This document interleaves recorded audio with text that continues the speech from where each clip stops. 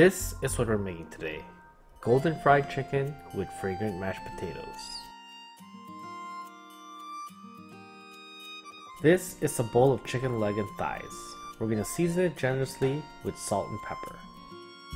So guys, since this recipe was based on the collaboration between KFC and Genshin Impact, I've been researching a lot on how to make KFC fried chicken. Now, I don't actually know if this is how KFC makes their fried chicken, I'm just basing it off what Wikipedia told me. So, after seasoning the chicken very well, we're gonna marinate this in buttermilk. By marinating it in buttermilk overnight, it'll tenderize the chicken and give it those sour notes buttermilk has. You should marinate your chicken for at least 6 hours. This is a large Yukon Gold potato. We're gonna use this because of its lower starch content. It's perfect for mashed potatoes. We're gonna cut these guys in half, and then into quarters, and then into little pieces. Then, we're gonna boil them for about 10 minutes. So before I actually made this recipe, I went to KFC and ordered some fried chicken and mashed potatoes. The way I would describe KFC's mashed potato is airy but buttery. So we're gonna use a lot of butter to make these mashed potatoes. Before boiling it and after peeling it, these Yukon Gold potatoes weighed about 750 grams. So just remember that, because we're about to put 40% butter into this recipe.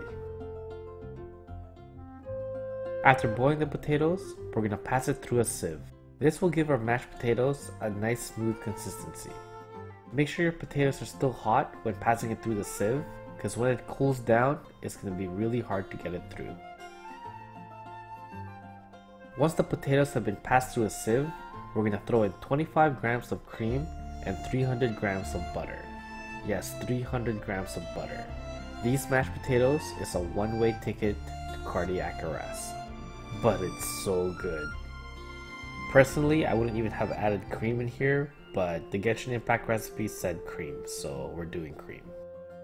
Next, we're gonna make the breading.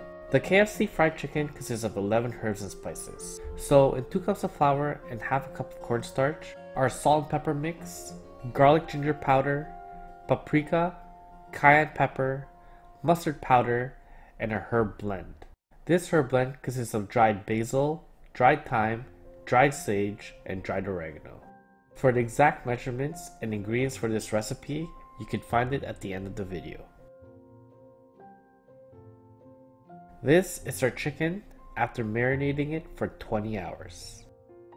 So according to my research, the KFC chicken is only dredged once, so we're simply going to drain this slightly and then dredge it on our flour mix.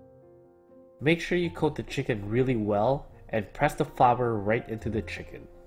We're going to dust it off very well and then leave it on a tray before frying. We're going to bread all our chicken first before we deep fry it.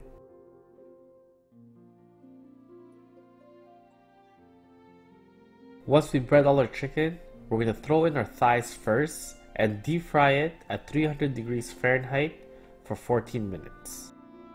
While our chicken's deep frying, we're going to make the gravy. Since KFC is from the south, we're going to make a southern style roux. In a pan, we're going to throw in a quarter cup of oil and a quarter cup of our flour mix. Then, on medium high heat, we're going to make a dark brown roux. Not black, not burnt, dark brown.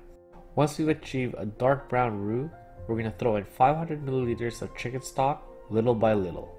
To make this roux took me about 10 minutes on medium heat. Guys, it's very important that you use oil and not butter. If you use butter to make a dark roux like this, it will burn. Once we've added all the chicken stock in, we're going to reduce it to the right consistency and then season it to taste. You should only be seasoning with salt because the flour mixture that we used here already contains so many herbs and spices.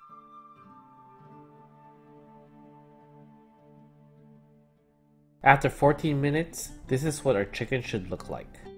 We're gonna put it aside and let it rest for about 5 minutes. Now let's plate.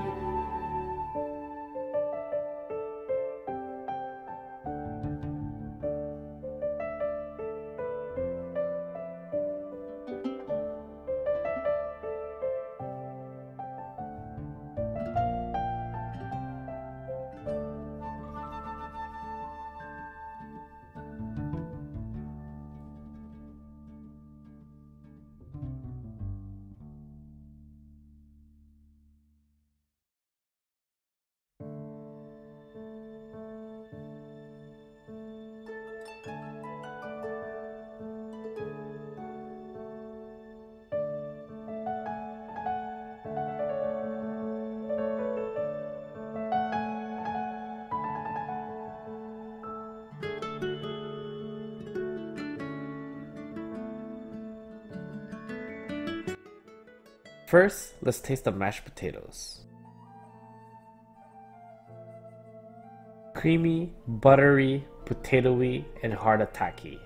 Delicious. Now listen to this guys.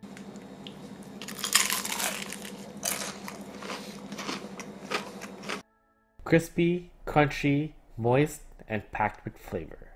Now let's try it with the gravy.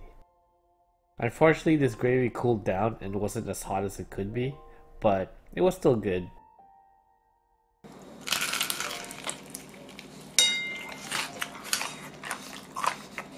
In terms of texture, I mean, this chicken was great. It was crispy on the outside and moist and juicy on the inside.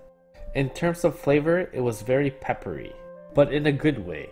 The KFC I had yesterday was honestly lackluster. The chicken was soggy and it definitely was not as flavorful. But you know what guys, this is what I'm gonna say. The KFC down in the States is definitely a lot better than the KFC up here in Canada. Well, I hope you guys enjoyed that episode. Here's one more bite of the crispy fried chicken.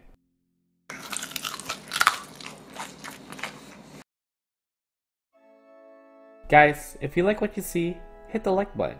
And if you guys have any suggestions on what I should cook next, please post in the comments below. And don't forget to subscribe.